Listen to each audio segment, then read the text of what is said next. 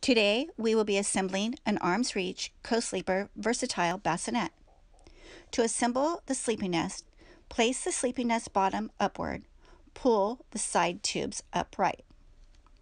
Slide the plastic holder of the sleeping nest base into the opening at the bottom of the side tube. The nest netting is very tight and this requires some strength. You may need some assistance. The plastic holder will click when properly locked. Repeat on the other side. The sleeping nest is now assembled.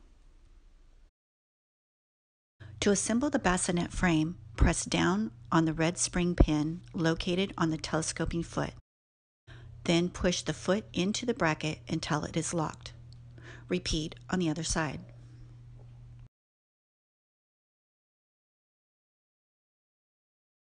Align the left end of the nest supporting bar with the left bracket.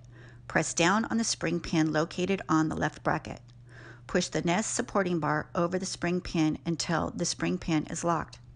Repeat the process connecting the bottom connecting bar to the left bracket.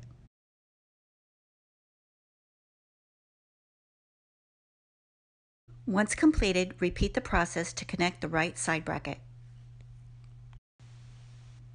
To assemble the bassinet, Align the plastic receivers on the sleepy nest with the top ends of the side brackets. Then push down. Connect the sleeping nest on both sides with the provided screws using a Phillips screwdriver.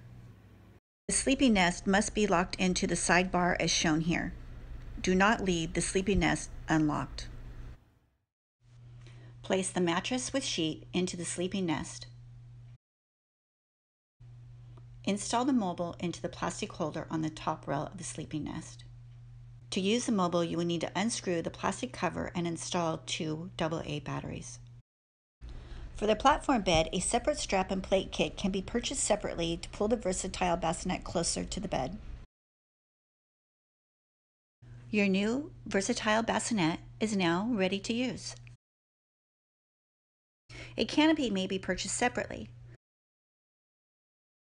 To install the canopy, simply place the canopy over the bassinet. Snap the four hooks of the canopy to the short ends of the bassinet. Adjust the elastic around the bottom of the bassinet. If you have any further questions, please contact us at armsreach.com.